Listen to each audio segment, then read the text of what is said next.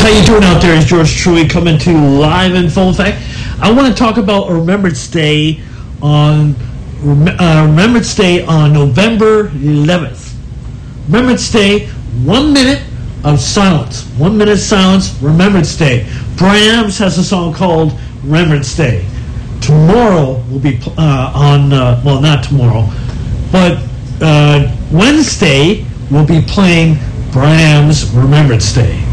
So just remember, on Wednesday, Bryan Adams, I'll be playing your song, Remembrance Day, on Into the Fire album. Uh, so there you go, folks. We'll be playing a Bryan Adams song from In the Fire. There you go.